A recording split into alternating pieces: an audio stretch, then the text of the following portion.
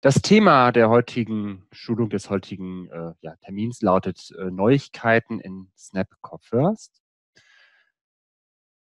Die Stimme, die Sie hören, gehört ähm, ja, zu Tobias Bürs. Ich bin Rehabilitationspädagoge und bei Tobi Dynavox tätig in unterschiedlichen Bereichen, unter anderem natürlich auch zum Geben von solchen Online-Schulungen.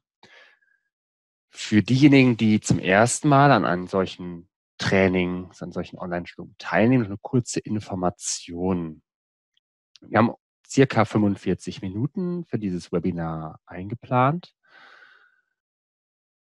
Sie dürfen sehr, sehr gerne die ganze Zeit über auch schon Fragen stellen. Ähm, die, es ist geplant, diese Fragen auch noch quasi direkt im Anschluss an die Präsentation selber nochmal ähm, zehn Minuten zukommen zu lassen, sodass man diese dann auch gegebenenfalls im, im ganzen Plenum vorstellen kann, ob sie gegebenenfalls auch für alle, für, für mehrere relevant sein könnten. Sie sehen unten ein Bedienfenster. Hier haben Sie verschiedene Möglichkeiten. Wichtig wäre es, dass Sie jetzt, jetzt erstmal auf Stumm stehen.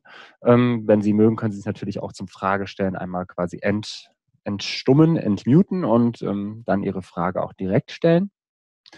Ansonsten, wie gesagt, wäre es gut, das auf Audio auszustellen, also das durchgestrichene Symbol, sodass ähm, andere auch nicht von etwaigen Hintergrundgeräuschen gestört werden.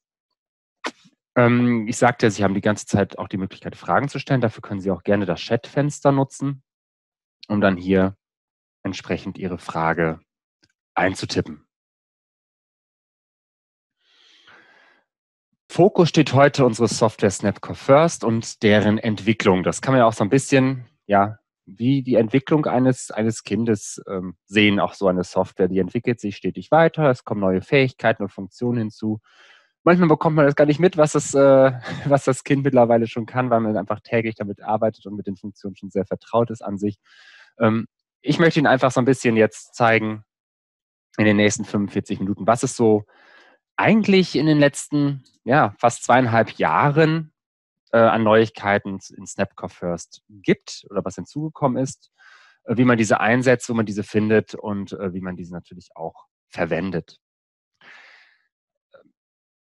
das Ganze ist natürlich äh, sehr ähm, ja, utopisch zu sagen, ich bringe jetzt alle Funktionalitäten, die seit März 2018, seitdem Snapcore First 1.3 herausgebracht wurde, mit der deutschen, ersten deutschen Metacom Core First Version, ähm, dass ich dort alle Funktionalitäten, die seitdem hinzugekommen sind, jetzt mittlerweile zweieinhalb Jahre, hier vorstellen kann. Ich habe einfach mal die wichtigsten hier rausgepickt und hoffe, dass ich auch ganz gut durch diese, diese Dreiviertelstunde halt auch führen kann und dass ich nicht ja, in Bredouille komme bezüglich Überziehen. Deswegen legen wir auch sofort los. Wie gesagt, März 2018. Da ging es eigentlich so richtig los äh, mit dem deutschen Snapcore First ähm, mit Version 1.3. Und in der ja, Zwischenzeit sind natürlich auch immer weitere neue Sprachen hinzugefügt worden. Also natürlich klar, mit Deutsch kam halt nicht nur noch Deutsch. Es war als erstes gab es nur Snapcore First Englisch, dann gab es nachher Deutsch, ähm, Italienisch, Spanisch, Französisch und natürlich auch viele weitere Sprachen. Und da wurde das äh, ja der Bedarf auch einfach deutlich, dass man Möglichkeiten schaffen sollte, wie man halt auch als Anwender selber schnell ähm, zwischen den einzelnen Sprachen hin und her wechseln kann. Und ähm, Sprachen, also die sprachlichen Inhalte, die unterschiedlichen, sind an sich nichts anderes als Seitensets in Snapcore First, die auch dort alle standardmäßig auch enthalten sind. Die müssen halt nicht hinzugekauft werden, sind standardmäßig mit drin. Man muss nur wissen, wie man diese findet und wie man diese gegebenenfalls verzahnt.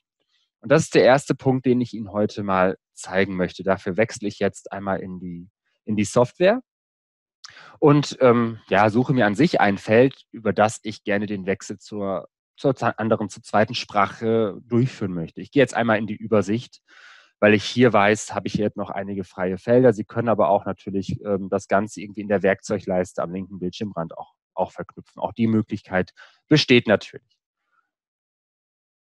Um diese Aktion jetzt hier auf diese Seite zu legen, gehen Sie oben rechts auf das äh, Bearbeitungsfeld und Sie landen nun im Bearbeitungsmenü. und Sie können hier nun ein leeres Feld, ein freies Feld auswählen. Einfach nur anklicken, es wird hinzugefügt.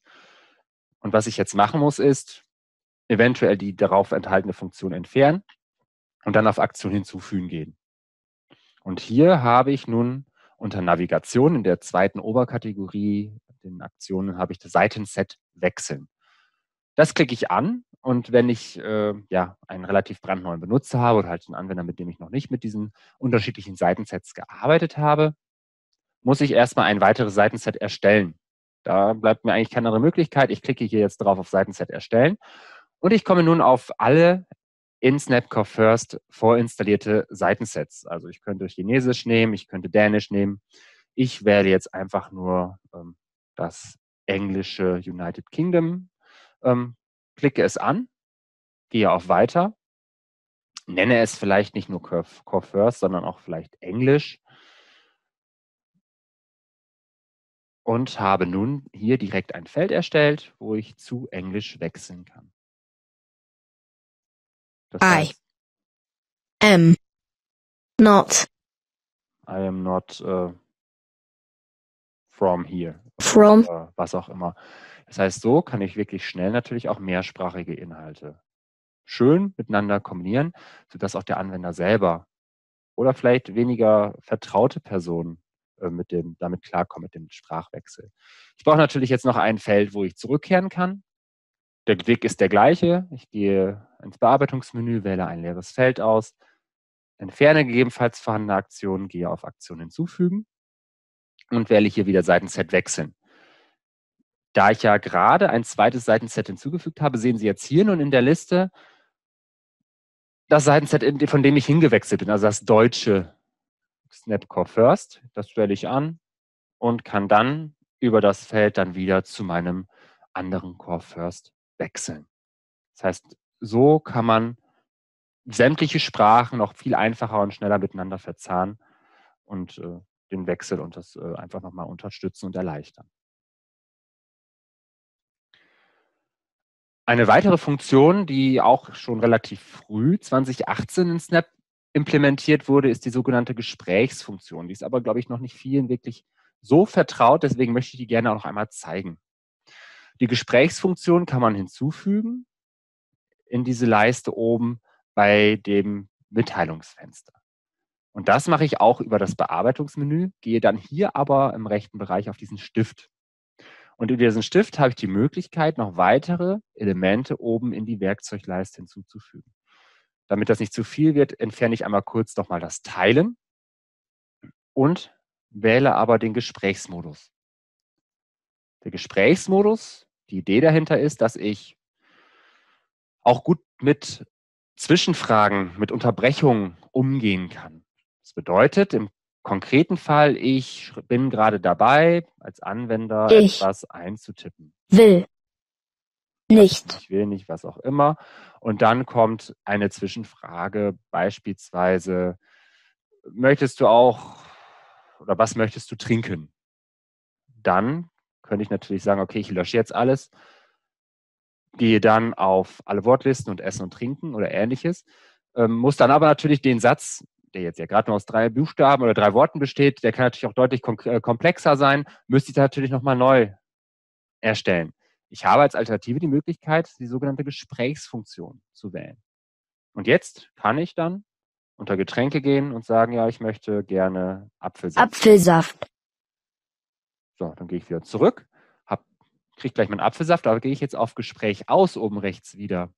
Dann ist der Inhalt, den ich zuvor quasi, wo, wo ich unterbrochen wurde, ist dann wieder zu finden und ich kann dort quasi wieder meinen Satz äh, fortsetzen, meine, meinen großen Aufsatz oder ähnliches. Das ist die sogenannte Gesprächsfunktion. Ebenfalls schon etwas länger da, aber noch nicht ähm, so bekannt, ist äh, die Datenverfolgung. Klingt vielleicht etwas gruselig. Unter Datenverfolgung ist aber eigentlich nur gemeint, dass man hier einen sogenannten ähm, ja, Feldnutzungszähler aktivieren kann. Das heißt, ich gehe unter Einstellungen, unter Benutzer und habe dann hier in der Datenverfolgung die Möglichkeit, die Feldnutzung zu aktivieren. Muss ich einmal zustimmen. Und das, was ich jetzt habe, ist folgendes. Ich kriege nun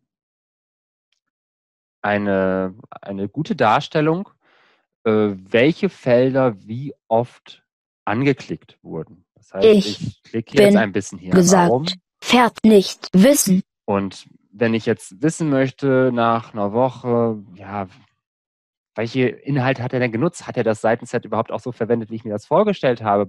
Muss ich eventuell Worte ändern, die Position ändern, weil vielleicht die ganze Bereiche nicht irgendwie erfasst worden konnten mit, mit den Augen oder mit Motorik oder ähnlichem. So habe ich die Möglichkeit, hier oben in dem ähm, angezeigten Graphen hier drauf zu klicken und ähm, den Feldnutzungszähler mir anzeigen zu lassen.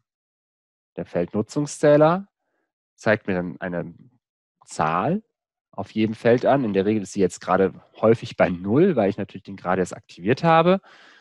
Aber manche Felder wie ich, sein ähm, und nicht, nicht, wenn ich hier weiter draufklicke, erhöht sich die Zahl immer kontinuierlich, sodass ich einfach jetzt wirklich eine gute Nachverfolgung habe, wie gut es denn eingesetzt wird.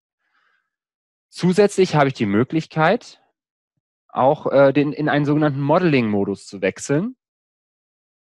Modeling-Modus bedeutet, dass ich die Klicks, die äh, der Anwender selber nicht durchführt, sondern die vielleicht vom Umfeld durchgeführt werden, zum, in, in der Therapiesitzsequenz oder halt in, in dem Übung, Übungsszenario, dass ich die sich nicht komme, wollen, sollen. auswirken auf die eigentlichen Nutzungszahlen auf den Feldern. Das erkennt man daran, dass jetzt hier im oberen Bereich das Ganze dann nur noch mit einem Finger dargestellt ist und nicht mehr das andere Symbol. Ich kann es auch über ein längeres Klicken darauf äh, deaktivieren oder aktivieren oder halt, wie gesagt, durch einmal draufdrücken. Ich kann auch den Modeling-Zähler ein, einzeigen lassen, dass ich auch so die Differenz sehe, was wird gemodelt, was wird vom Anwender ausgewählt. Aber in der Regel ist es wahrscheinlich so, damit es nicht stört, dass ich auf jeden Fall die Anzeige ausblende, aber es halt im Hintergrund laufen lasse.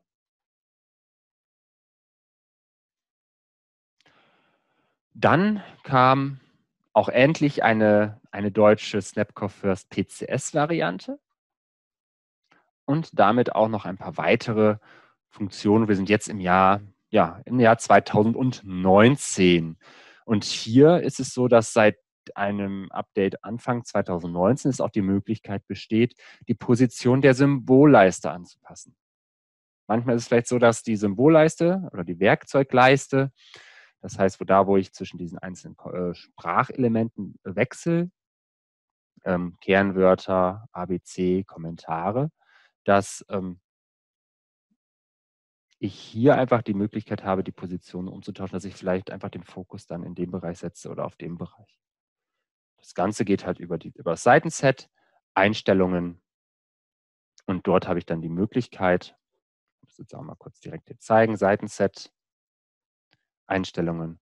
Und da habe ich die Möglichkeit, das mit äh, die Werkzeugleiste nach rechts zu verschieben und eventuell dort ähm, ja, den Fokus dann vielleicht auf wichtigere Sachen zu setzen oder halt die Möglichkeit schaffen, das über, den, über die rechte Hand dann eventuell anzu, anzusteuern. Mitte Mai 2019 ist Snap 1.8 erschienen unter anderem wurde die Benutzeroberfläche vereinfacht, da gehe ich jetzt nicht mehr konkret drauf ein. Aber was hier ein wichtiges neues Element war, waren die sogenannten aktiven Inhalte oder aktive Bezeichnungen. Aktive Bezeichnungen sind an sich dynamische Felder, die nicht eine statische Bezeichnung äh, zeigen, jetzt hier lauter und leiser oder stumm schalten, sondern wirklich auch die gerade aktuelle Uhrzeit oder die Sprachlautstärke oder äh, das Datum und dass diese Bezeichnung sich auch anpasst und ändert, sobald halt quasi ähm, sich auch was an dem Wert ändert, sei es halt an dem Akkustand oder auch mal natürlich an der Uhrzeit, ohne dass ich einmal die Seite schließen muss und wieder öffnen muss. Das heißt, diese werden wirklich aktiv geändert die möchte ich solche aktiven Bezeichnungen auf ähm, ein anderes Feld legen, in einem anderen Bereich, auf einem anderes Thema. So gehe ich ins Bearbeitungsmenü, wähle ein Feld aus, worauf ich denn diese aktive Bezeichnung hinterlegen möchte und gehe jetzt hier nicht auf Bezeichnung oder Mitteilung, sondern nein, ich gehe hier im rechten Bereich auf das auf aktivierter aktiver Inhalt. Und wenn ich hier drauf klicke, ploppt ein Menü auf, wo ich alle aktuell verfügbaren aktiven Bezeichnungen, aktiven Labels, aktive Inhalte zur Verfügung und dargestellt bekomme. Möchte ich zum Beispiel wissen, welchen Wochentag, äh, möchte ich auch noch den Wochentag angezeigt bekommen, kann ich hier auch den Wochentag hinzufügen. Ich habe keine Möglichkeit, Symbol, Bezeichnung oder Mitteilung anzupassen. Das ist alles vorgegeben. Aber so kann ich einfach auch mit wenig Aufwand ähm, ja, ähm, aktuelle Daten vom Wochentag über Uhrzeit bis natürlich auch wichtige Sachen wie zum Beispiel den Akkustand einfach gut dargestellt bekommen.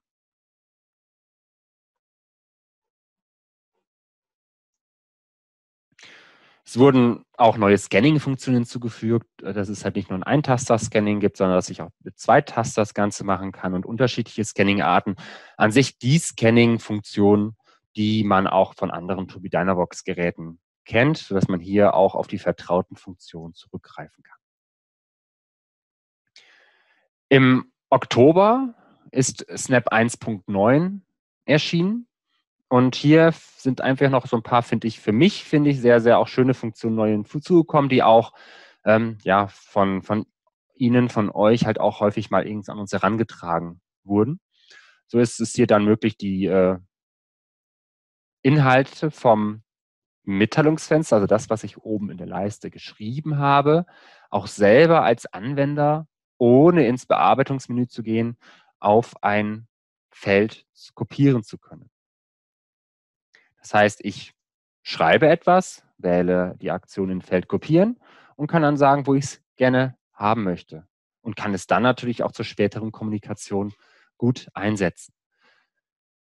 Diese Felder in Feld kopieren findet man bereits vorprogrammiert auf verschiedenen Seiten, in der Regel natürlich auf Seiten, die individuelle Inhalte einfordern, wie jetzt Kommentare, meine Sätze oder auch in den Kernwörtern unter meine Listen. Auch hier finde ich in Feld kopieren.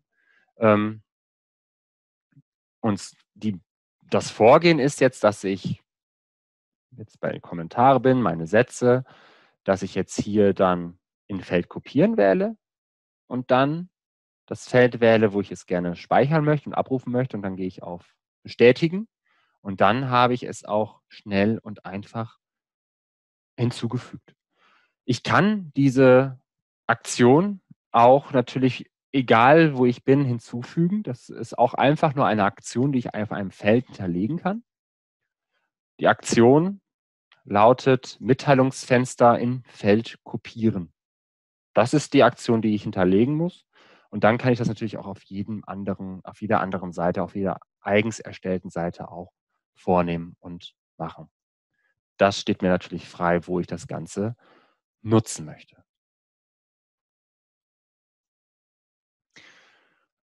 Was das Ganze noch ein bisschen kreativer gemacht, die Gestaltung der äh, Inhalte, ist das Anpassen der Feldgröße. Bis zu den vorherigen Versionen war ich immer darauf, also auf die entsprechende Rastergröße angewiesen und konnte nicht irgendwelche Elemente vielleicht hervorheben, sodass ich vielleicht in der Mitte ein großes Feld habe und außenrum vielleicht kleine Felder, in der Mitte vielleicht ein Foto habe, außenrum dann ähm, ja, Kommentare zu dem Feld, äh, zu dem Foto.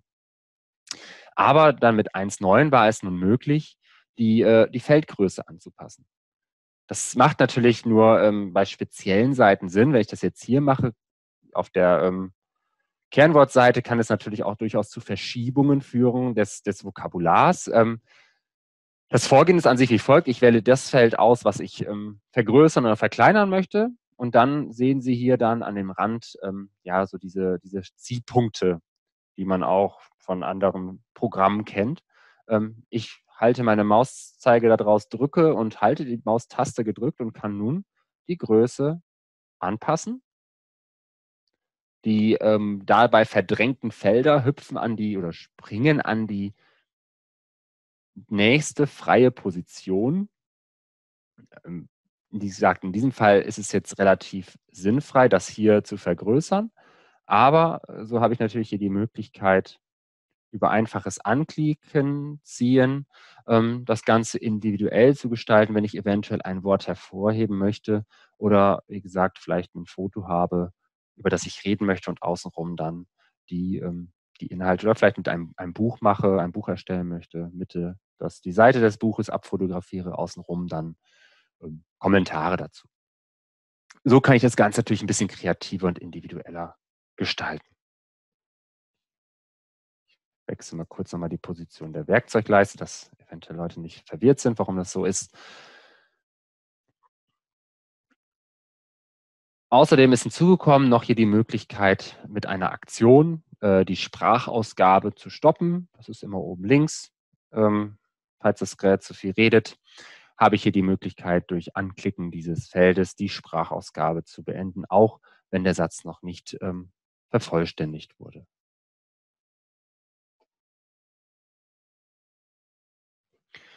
Ähm, zudem wurden das erste Mal sogenannte also Seiten zum Accessit 3 angeboten und vorgestellt.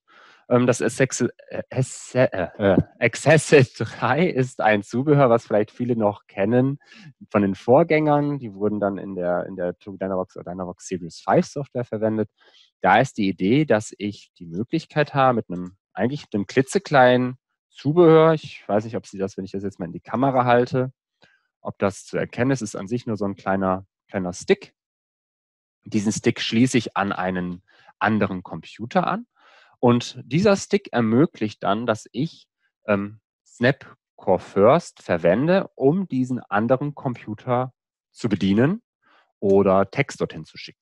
Das heißt, ich habe die Möglichkeit, mit meinem Snapcore First auf dem augengesteuerten Kommunikationsgerät der i-Serie, auf dem i110, aber natürlich auch auf einem iPad oder einem Windows-Tablet, habe ich die Möglichkeit dann, es mit dem Accessit 3 zu verbinden und dann kann ich die Accessit-Seiten nutzen, um dann beispielsweise Facebook auf dem Computer zu nutzen oder einen Internetbrowser. Das heißt, dann werden die entsprechenden Befehle über äh, Bluetooth an das Accessit geschickt und dieses führt es dann auch. An sich ist das Accessit 3 nur ein, eine Art Mausersatz oder Tastaturersatz. Also ich stecke es ein wie eine, eine, eine externe Maus, wie eine, eine, Funkmaus und kann sie dann halt nutzen, um, wie gesagt, den Browser zu öffnen, Mausbewegungen zu machen, ähm, aber natürlich auch noch ganz andere Sachen. In Word kann ich arbeiten, mit Gmail. Wir haben auch ein Video gemacht, äh, wo ich das Accessit mit entsprechenden Zubehören auch an eine Amazon Fire TV stecken kann, der neuesten Generation und ähm, so auch zum Beispiel das Fire TV starten kann an dem Fernseher und bedienen kann mit meinem Kommunikationsgerät, wenn eventuell ja das halt nur sonst mit Augen möglich ist oder halt die Motorik so eingeschränkt ist, dass ich halt auch die normalen Fernbedienungen nicht verwenden kann.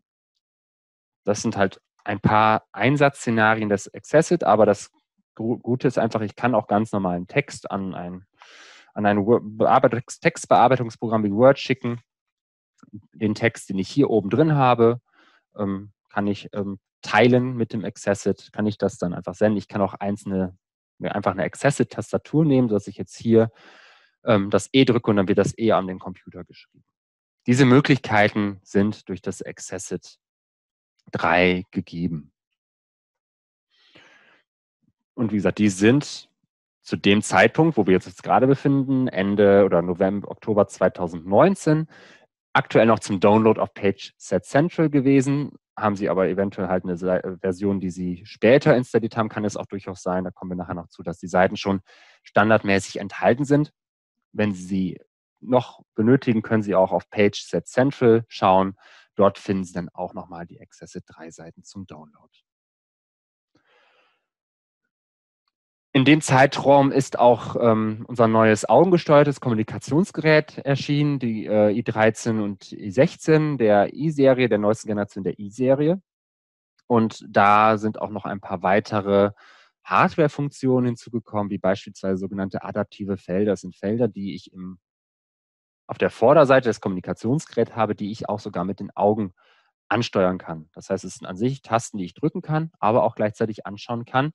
Und hier sind einfach nur ähm, ja, entsprechende Möglichkeiten hinzugekommen, dass ich diese lernfähigen, lernfähigen Felder, diese adaptiven Felder hier entsprechend auch für Snapcore First einsetzen kann.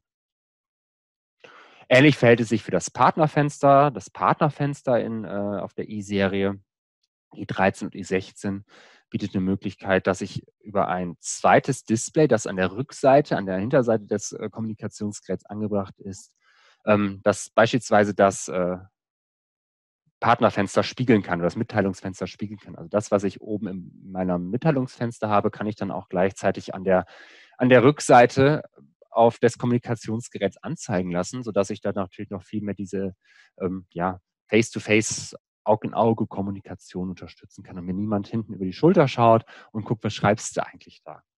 Und diese Anpassungen bezüglich An- und Ausschalten, Helligkeit, ähm, die kann ich hier auch jetzt alles über, über Snapcore First regeln, entweder als Anwender selber, über die, ähm, ja, über die Übersichtsseite oder natürlich auch in den Einstellungen unter System habe ich noch weitere Anpassungen, die ich ähm, für das Partnerfenster vornehmen kann.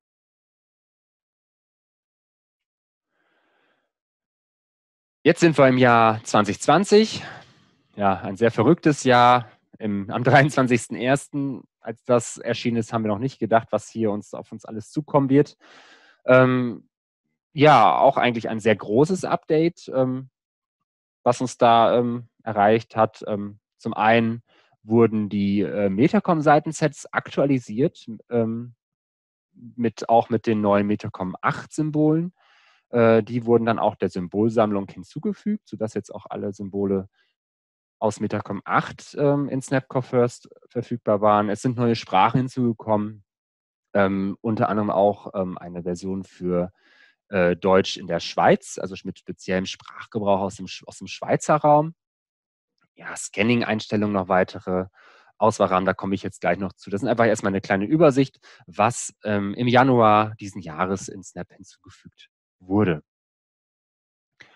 Ähm, zum einen, wie ich gerade schon sagte, sind jetzt diese Accessit-Seiten standardmäßig in den Inhalten mit inkludiert, sodass ich einfach in, die, in der Werkzeugleiste unter Übersicht gehen kann und dort finde ich einen Bereich Accessit. Dann gibt es mit 1.10 das erste Mal auch die, äh, einen Hinweis äh, äh, Glühbirne, eine Hinweisglühbirne im oberen Bereich der Software. Ähm, dieses zeigt bei neuen Updates von Snapcore First, was ist denn neu, verweist dann auch zu den äh, entsprechenden Dokumenten zu den Update, wenn man nochmal genauere Informationen benötigt. Ähm, wenn es ein Update gegeben hat, leuchtet diese gelb. Ich kann da draufklicken, es öffnet sich ein kleines Mini-Fenster. Wenn ich das nicht haben möchte, kann ich aber auch unter Benutzer und in Einstellungen den äh, Hinweis im Anwendungsmodus deaktivieren, sodass der mich dann bzw. den Anwender nicht äh, unnötig ablenkt und stört. Ich habe mit 1.10 für Anwender in, in des Scannings noch weitere Möglichkeiten. Sogenannte Scanning-Gruppen kann ich jetzt einrichten. An sich eine sehr schöne und hilfreiche Funktion, um die Scanning-Gruppen einzurichten. Die kann ich natürlich nur seitenweise einrichten. Gehe ich ähm, im unteren Bereich im Bearbeitungsmenü auf Seite und habe dann jetzt hier ja, dieses Scanning, das Symbol für Scanning-Gruppen. Und was ich jetzt hier machen kann, ist, ich kann verschiedene Gruppen festlegen, die dann nach und nach dann quasi hervorgehoben und gescannt wird, dass ich sie auf, aufrufen kann. Jetzt mache ich gerade die erste Gruppe. Ich zeichne die erste Gruppe. Ich kann jetzt mit gedrücktem Finger über das, äh, den Bildschirm gehen oder in dem Fall mit der gedrückten Maustaste. So, ich mache das nämlich jetzt ähm, Fragen als erstes. Eine Gruppe, dann würde ich die Personen als eine Gruppe nehmen. Die Verben, es ist eigentlich nur ein ein drüberwischen und so weiter. Und wenn ich jetzt Scanning aktiviere, wäre es so, dass immer erst ähm, dieser Block hervorgehoben würde, dieser Block, dieser Block, dieser Block, die kurzen Wörter und dann noch die, die Ordner. Und dann erst, wenn ich über die Scanning-Taste aktiviere, dass ich in diesem Block etwas auswählen möchte, werden die einzelnen Elemente dann gescannt. Ich finde eine sehr ähm, hilfreiche Funktion, was Scanning angeht und auch eine sehr, ähm, sehr nutzerfreundliche Geschichte. Aber natürlich nur für Anwender, die halt auch auf Scanning angewiesen sind. Ja, die Teilenfunktion wurde ein bisschen überarbeitet. Vorher war das ein etwas eher so ein Windows-Menü. Jetzt hat man große Felder. Ich habe das Accessit mit drin. Ich kann also über das Teilen oben rechts in der ähm, ja, im Mitteilungsfenster in der Leiste ähm, das Accessit auswählen, in Feld kopieren oder allgemeines kopieren. Und erst wenn ich auf Weitere gehe, bekomme ich dann das Standard-Windows-Menü. Das macht das Ganze natürlich auch viel zugänglicher für, für Anwender ähm, mit Touch oder natürlich auch mit Augensteuerung, als wenn ich dieses Standard Windows-Menü hier sehe. Im Bearbeitungsmenü ist auch der sogenannte Auswahlrahmen hinzugekommen. Wir nennen das auch vielleicht Lasso. Ähm, das heißt, wenn ich jetzt hier im, äh, in dem Menü bin, habe ich im rechten Bereich, ich kann auch noch mal kurz die Erklärung einbinden, diesen Auswahlrahmen. In der vorherigen Version war es immer nur möglich, ein Feld anzuklicken oder mit der Mehrfachauswahl ähm, klickweise halt auch alle, möchte ich aber vielleicht ähm, ein, eine größere Gruppe auswählen, so war mir das vorher immer nur sehr schwer möglich. Mittlerweile dann ist es mit diesem Auswahlrahmen möglich, einfach mit gedrückter Maustaste so einen Bereich über das Feld, zu, über die Felder zu ziehen, die ich auswählen möchte. Und jetzt könnte ich alle Felder gleichzeitig jetzt hier im, im Stil anpassen und gegebenenfalls ähm, ja, die Schriftart ändern, aus welchem Grund ich das vielleicht auch immer gerne möchte oder die Hintergrundfarbe des, des Feldes oder ähnliches. Erleichtert die Bedienung ungemein nochmal, diese, dieser Auswahlrahmen. Ähm, auch eine nette, hilfreiche Funktion ist das Whiteboard. Das ist auch mit 1.10 hinzugekommen. Nicht standardmäßig äh, verknüpft, aber schnell hinzufügbar. Ich werde das Ganze auch wieder in der Übersicht hinterlegen. Und ähm, das Whiteboard fügt man hinzu wie jegliche anderen Aktionen auch. Wähle ein leeres Feld aus, entferne gegebenenfalls ungewünschte Aktionen und gehe hier auf Aktionen und scrolle nun ein bisschen nach unten. Ja, wo war es denn? Ähm, Sekunde. Das Whiteboard war weiter oben und zwar auch unter Navigation, unter Whiteboard öffnen. Und hier kann ich nun ein sogenanntes Whiteboard öffnen, mit dem ich dann schön mit dem Finger auch jegliche, also jetzt gerade natürlich mit der Tastatur, Bäume zeichnen kann oder auch eventuell ein, ein Bild hinzufügen kann, entweder gerade selber ein Foto machen. Wahrscheinlich geht es gerade nicht, weil meine Kamera genutzt wird. Falls doch, ähm, kann ich auch Fotos hinzufügen ähm, und die ähm, irgendwie die bemalen, da vielleicht irgendwie etwas zeigen, was ich vielleicht sagen will, hier ähm, Brille oder ähnliches. Ich kann weitere Felder machen, die anderen bleiben erhalten. Und so kann ich natürlich noch eine weitere Modalität nutzen, in dem Fall dann das, ähm, das Malen. Ich denke jetzt speziell an vielleicht an äh, Anwender mit einer, mit einer Aphasie, ähm, dass die auch vielleicht ganz gut äh, mit dem Whiteboard in Kombination arbeiten können. Aber natürlich auch, auch Kinder, natürlich ohne Frage, können natürlich auch davon durchaus profitieren.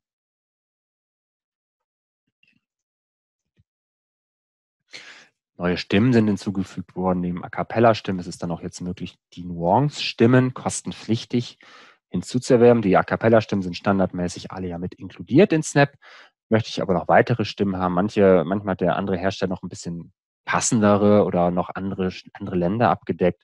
So könnte man das Ganze dann auch noch hier kostenpflichtig jetzt auch noch erwerben.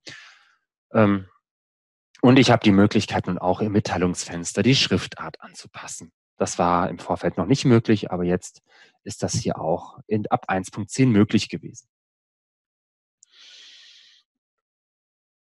Darüber hinaus ähm, sind auch ähm, noch ähm, zahlreiche richtige Fotos ähm, Snapcore First in den Symbolsammlungen hinzugefügt worden. Und zwar ähm, habe ich jetzt in der Regel, wenn ich jetzt zum Beispiel ähm, das Wort Essen eingebe, kriege ich natürlich erstmal ganz normale Symbole, aber ich habe jetzt hier auch richtige digitale Fotos seit Version 1.10. Das heißt, entweder von einzelnen Objekten, aber je nachdem, was ich natürlich suche, auch ganze Sequenzen, ganze Szenen, also welche, die eine ganze Situation beschreiben, wie jetzt ich esse im Bett oder ich, ich sitze am Tisch oder ich esse im Restaurant. Diese Symbolsammlung ähm, sind auch neu hinzugefügt worden. Möchten Sie gucken, ob Sie die vielleicht noch nicht aktiviert haben, möchten Sie auch gerne mit, mit Fotos arbeiten, so schauen Sie mal in den Symbolbibliotheken ähm, und gucken mal, welche Symbolsammlung Sie gegebenenfalls noch nicht heruntergeladen haben von den verfügbaren ähm, Symbolen.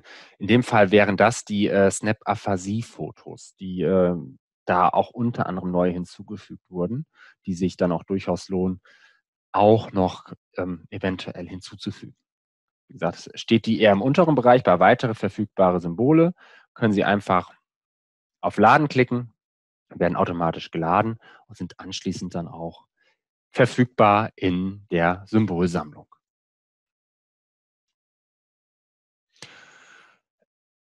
Vor ja, einem halben Jahr ungefähr ist dann Version 1.11 erschienen. Hier ist es nun endlich auch möglich, dann auch Seiten zu drucken. Es gibt neue Seitensets äh, im Niederländisch, Deutsch, also neue Textseitensets. Das heißt dann auch etwas für Anwender, die Schriftsprache beherrschen und nicht auf Symbole angewiesen sind.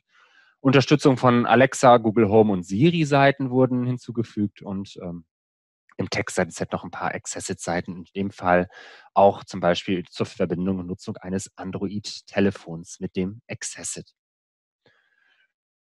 Seite drucken war immer ein, ein, ja, ein hoher ähm, ja, Bedarf, der von Ihnen an uns herangetragen wurde. Seite drucken ist an sich eine ganz einfache Geschichte. Ich gehe auf die Seite, die ich drucken möchte, gehe dann ins Bearbeitungsmenü und kann dann hier entweder auf Seite gehen, ziehe ich mal ein bisschen runter und habe dann hier den Drucker, gehe ich auf den Drucker, öffnet sich das äh, Druckmenü.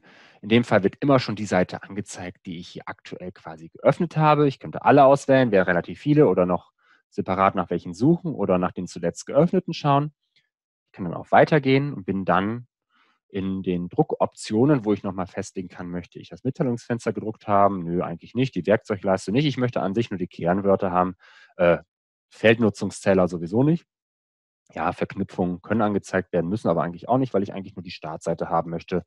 Und dann gehe ich auf Drucken und ähm, ich bin dann in meinem Druckmenü und kann dann natürlich vielleicht Querformat auswählen und bekomme das Ganze dann schön auf Papier ausgedruckt gehe jetzt auf Abbrechen, um nicht unnötig Druck zu verschwenden. Ich kann aber auch hier unter Seite sich auch nochmal Seiten drucken als, als Menü und kann ja auch nochmal auf Drucken gehen. Ja, das Textseitenset gibt es jetzt auch in verschiedenen Sprachen, ist äh, an sich sehr aufgeräumt, sehr übersichtlich gestaltet. Ähm, wie gesagt, schwerpunktmäßig Anwender, die keine Symbole benötigen.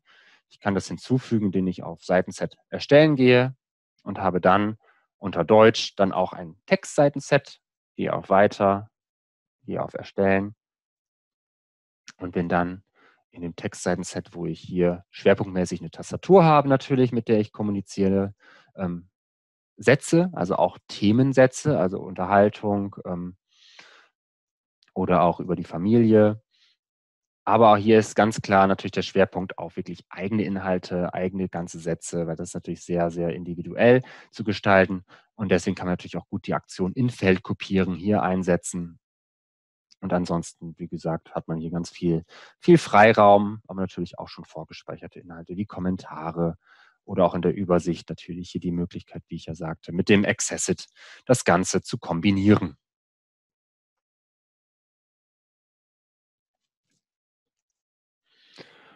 genau die Google Home, Alexa und Siri-Seiten. Ich denke, das kennt grundsätzlich jeder, zumindest eins von diesen ähm, Assistenten. Einfach eine gute Möglichkeit, dann hier ein bisschen mehr Unabhängigkeit zu bekommen, dass ich dann entsprechend dann mit Alexa kommuniziere, bei Alexa Nachrichten abrufe, Wetter, ähm, damit vielleicht auch sogar telefoniere oder einen Timer stelle. solche Möglichkeiten sind natürlich gegeben, dass ich das einfach schon alles vorprogrammiert ähm, habe mit Inhalten, sodass ich das nicht alles von Grund auf neu erstellen muss. Und die Seiten gibt es natürlich dann auch in nicht nur im, im, im Snap Text Nutzer, sondern natürlich auch im Snapcore First äh. So, und jetzt sind wir an sich schon beim aktuellen Stand angekommen und jetzt kommen wir noch zu Snap 1.12, was im Juni erschienen ist. Ähm, und da ist es, also, was uns besonders am Herzen lag, ist, dass jetzt auch endlich der, die Suche so funktioniert, wie Sie uns es auch wünschen. Ähm, und zwar hat man jetzt nur die Möglichkeit, auch doppelte Treffer zuzulassen und äh, verborgene Felder anzuzeigen bzw. nicht anzuzeigen. Ich gehe jetzt noch einmal zurück in äh, das Snapcore First Seitenset.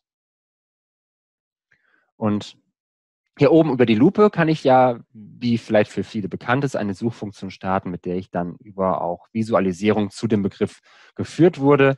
Ich gehe jetzt mal nach dem Begriff Auto und ich kann jetzt hier in den Einstellungen zulassen, dass ich auch doppelte Treffer sehen möchte. Das war bisher nicht so. In der Regel wurde immer das am schnellsten erreichbare Wort gezeigt, was natürlich auch Sinn macht. Aber wenn ich eventuell nicht den ABC-Bereich nutze, sondern eher über die, über die äh, Wortlisten das Ganze den Zugriff habe zum Wortschatz, dann war das für mich natürlich dann ähm, nicht ideal.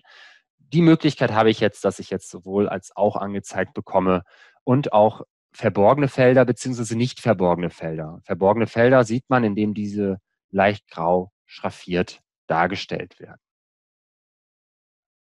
Und das Prinzip der Suche ist ja, dass ich dann sage, okay, ich möchte jetzt von hier zum Auto kommen. Das heißt, egal auf welcher Seite ich bin, ich bekomme nicht irgendwie den Pfad von der Hauptseite oder von meiner Hauptseite, sondern immer da, wo ich gerade bin. Das heißt, immer den individuellen Pfad und das Ganze natürlich dann auch schön visuell Auto hervorgehoben.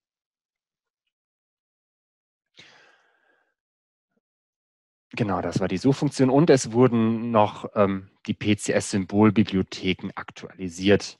Ähm, haben Sie wahrscheinlich mitbekommen, dass wir auch viele Symbole jetzt gerade zur Covid-19, Corona-Situation ähm, erstellt haben, wie irgendwie zu Hause, Homeoffice, Videotelefonie, äh, über Videotelefonie spielen, ähm, das Ich bleib zu Hause Zeichen.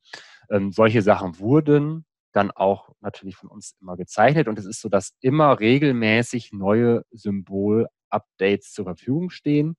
Ähm, sollten eigentlich mit dem Updates dann automatisch geschehen, aber es lohnt sich auch hier immer gerne mal über äh, die Einstellungen in die Symbolbibliotheken zu gehen und äh, dort dann mal zu schauen, ob bei den Symbolsammlungen eventuell so eine Art ähm, Neuladen-Symbol ist. Das heißt, klickt man da drauf, werden dann auch automatisch dann die neuen Symbole heruntergeladen und sind dann auch, stehen dann auch zur Verfügung.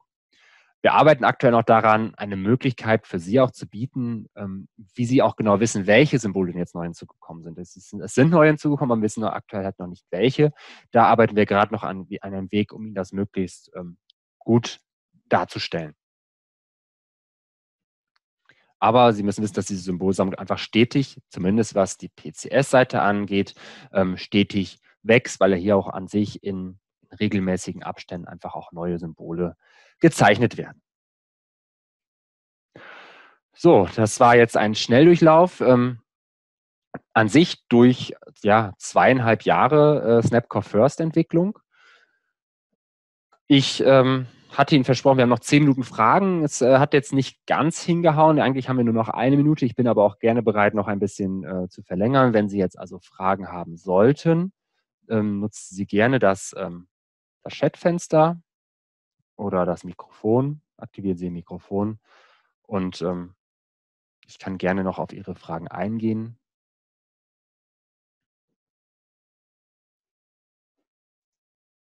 Falls keine Fragen sein sollten, Sie können natürlich weiter noch schreiben. Ich habe jetzt noch nicht irgendwie äh, es unterbunden, dass Sie äh, Fragen stellen können, aber Sie können natürlich auch gerne im Nachgang immer noch unter, unter info.dach ähm, Fragen stellen zu den, äh, ja, den gezeigten Teilen, aber natürlich auch allgemeine Fragen. Da stehen wir natürlich auch gerne, gerne Ihnen zur Verfügung. Ich hoffe, es war ähm, etwas Neues und Spannendes vielleicht auch für Sie dabei, was Sie jetzt vielleicht auch dann in Ihrer Arbeit auch ähm, vielleicht auch direkt einsetzen, dass es Sie direkt unter den, in den Nägeln kitzelt, ähm, dass da was dabei ist. Ähm,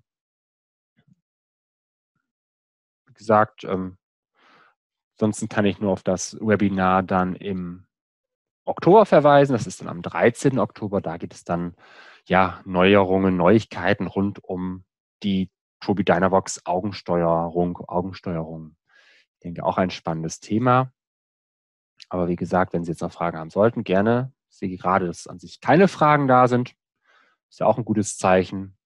Dann wünsche ich Ihnen einen schönen Feierabend, schönen Spätnachmittag, entlasse Sie dann. Und würde mich freuen, Sie an gleicher Stelle oder vielleicht irgendwann auch mal wieder persönlich ähm, zu sehen und in, in Austausch zu treten. Auf Wiedersehen. Tschüss.